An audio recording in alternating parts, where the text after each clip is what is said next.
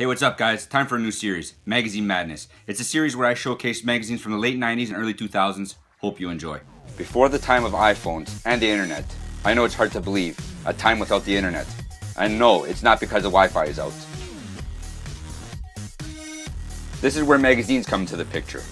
Magazines came in all shapes and sizes and console types. Today we focus on GamePro issue 121. We are treated to an amazing piece of art from one of my favorite games and franchises of all time, Metal Gear Solid.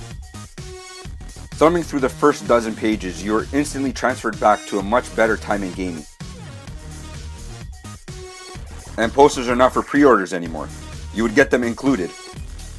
We gamers needed our fix and info on upcoming games, systems, and strategies. Yes, strategies, not wikis or game facts, but strategies. Strategies like beating a level, a boss, or even button combos for the latest fighting game in arcades. While thumbing through the pages, you get to the sneak preview section. These are games that are or were still in development. With games like Then You're Finally There, the feature article, the reason why you bought this damn magazine in the first place, Metal Gear Solid. In case you didn't hear me say this in the beginning, this is my favorite game all time. Pay attention, will ya? In 1998, GamePro believed that Metal Gear Solid will help fuel the PlayStation 1 forward through the holiday season.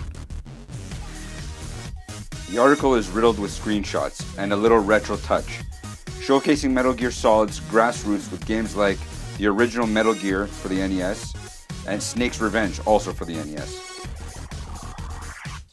Then finally, the awe glorious codes! Thank you for stopping by and sharing GamePro issue 121 with me. Don't forget to like, comment, and subscribe. And if you like what you saw, please let me know in the comments below.